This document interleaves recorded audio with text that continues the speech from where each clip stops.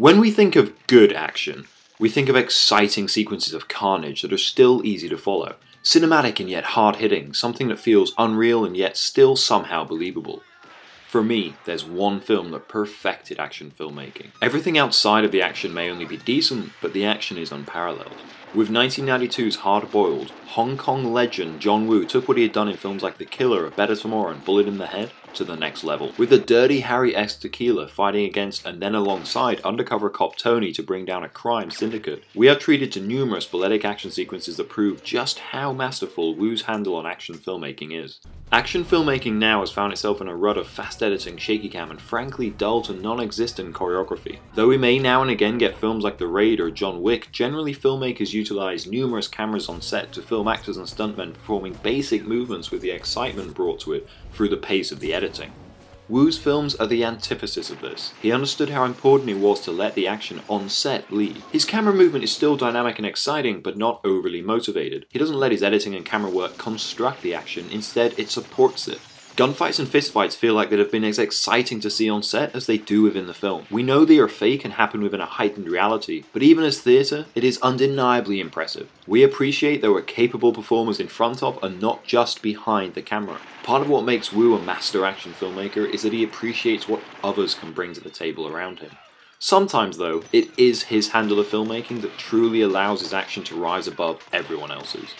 Whereas filmmakers now make the action as hard to see as possible with a real-time effect wherein regardless of where we are in the space, the action happens at the speed it might in real life. Woo uses his filmmaking to slow down time, both literally and figuratively.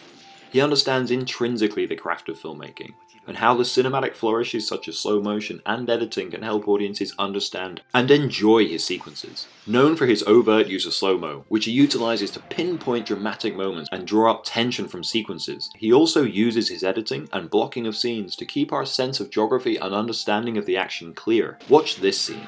These two come crashing through a morgue wall, and in reality the ensuing fight would last seconds. Woo however first follows Tequila and his dispatching of these guys, before then turning to Tony and showing his mowing down of the rest. If this were real life, both would have to clear the room simultaneously, but this is the cinematic reality Woo has constructed for us. Thanks to Woo's editing choices, we get to see everything that happens, but it never feels overused. The shots last just long enough that we don't feel the characters will be killed. The pacing is just right that we can keep up, but the excitement remains. Famously, Woo then does something in the hospital sequence which is still one of the greatest action sequences ever, that completely goes against his carefully constructed editing of action. Tequila and Tony go through two floors executing bad guys, and they do it in just one take. Even when they go into an elevator, the crew then quickly redress the set outside, to make it appear the floor had changed rather than break the shot. Done to save time on set, it also has narrative purpose. Woo's editing choices, or a lack thereof, are to further our understanding of the characters. We see how skilled they are, and how increasingly capable they are of working together.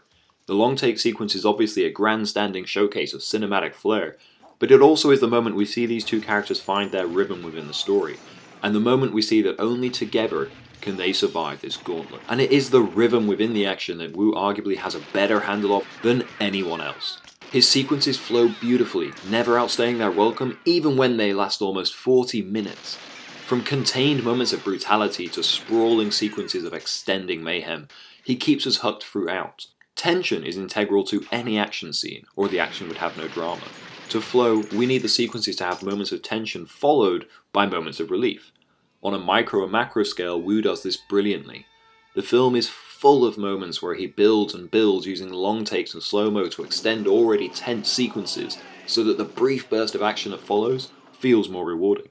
This too occurs throughout the larger sequences in terms of stakes. To maintain dramatic tension, the stakes are always incredibly high. In the yacht sequence, Tony is immediately wounded and the character stuck in a tight space. In the hospital, we have fellow policemen, then innocent hostages, and then newborn babies all acting as potential victims. Every scene too has its own lead antagonist. The tea house has a main villain. The warehouse has a main villain.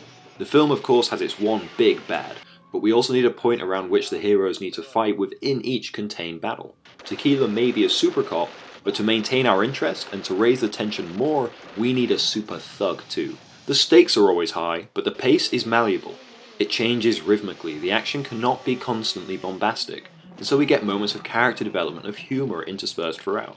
Woo allows us to breathe within the action sequences themselves through his editing choices, but also via the greater narrative choices he makes. At every level, he knows what to do to keep us involved and yet not exhausted. With the combination of dramatic moments of tension, well directed gunplay, exciting practical effects, editing choices motivated by action rather than the other way around, and generally well put together extended action sequences, the film rises above its melodramatic, arguably rough around the edges style to become an unparalleled action classic.